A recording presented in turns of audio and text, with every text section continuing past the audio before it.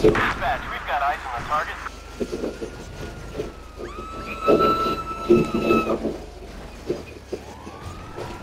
Thank you.